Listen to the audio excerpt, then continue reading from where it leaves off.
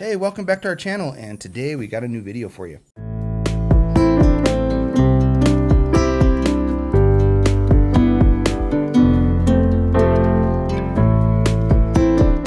So in our video today, we're talking Atmos. This is Atmos Render from uh, Studio One. This is their integrated renderer.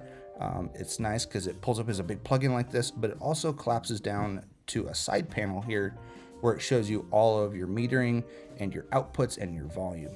Um, it shows you kind of your typical renderer here where you've got a 3D view of what you're doing along with your bed formats, your output formats.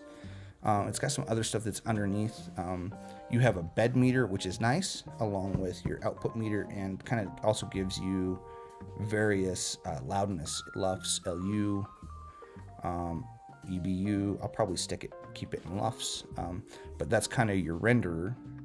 And we've been playing this for a few, for a few days here, so it's been kind of fun. Um, but you can also uh, pull up the panner, and this is the surround panner that's on the channels here.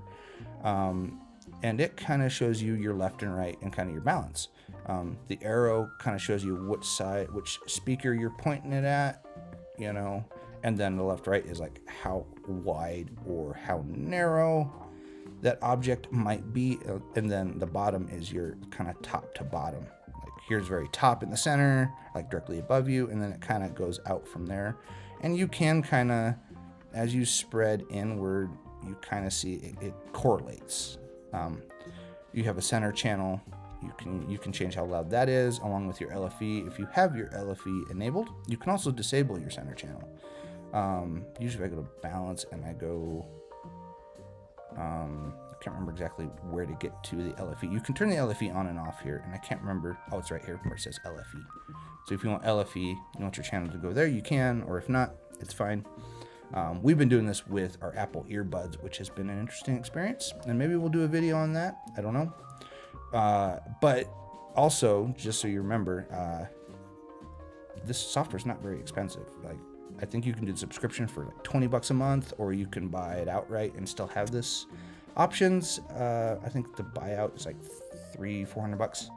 Anyways, um, or if you have a version you're updating, you can update. I think like 150 you can update for any version so uh, we've been playing with it for a few days and might switch to it uh, once our studio is done downstairs uh, we're kind of doing some construction down there where um, we're changing desks and a couple different things in io but look out for more videos like this as we play along with studio one and do more maybe some atmos mixing and rendering uh, via the, the render. Um, I think it's a cool option to have this open. You could pretty much just record with all this set up like this and then just start mixing Atmos.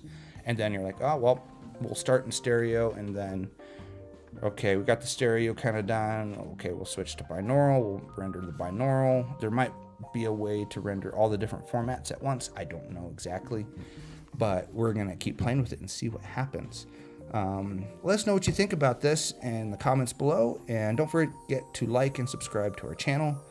And you know what? We'll see you next time. Go make some music.